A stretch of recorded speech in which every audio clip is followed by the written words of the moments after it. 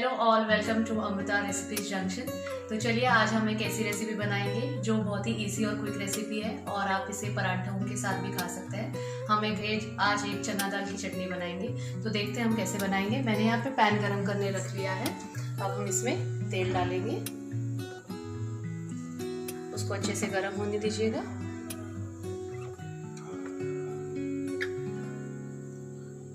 उसके बाद मैंने हाफ़ कप यहाँ पे चना दाल लिया हुआ है, वो हम इसमें डाल के थोड़ा सा भूनेंगे। इसे अच्छे से भूनी इससे एक फ्लेवर आता है, तब तक आप इसे भूनिए, अच्छे से रेडिश होना चाहिए इसका कलर चलिए तो इसका कलर रेडिश हो चुका है और बहुत ही अच्छा फ्रेगरेंस भी आ रहा है, चना दाल की खुशबू भी आ रही है।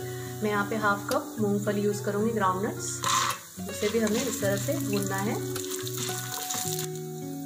तो भूनते वक्त हमें, मैंने यहाँ पे पाँच से छः लहसुन की कलियाँ ली हुई है और धनिया पत्ता है और दो तीन मिर्च भी डाली हुई है।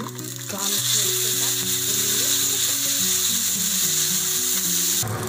देखिए, ये भून के अच्छे से रेडी हो चुका है।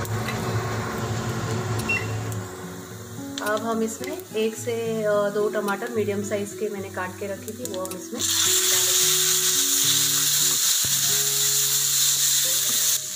मैंने टमाटर डाल दिया है। चलिए अब अभी इसमें स्वाद अनुसार नमक डालेंगे।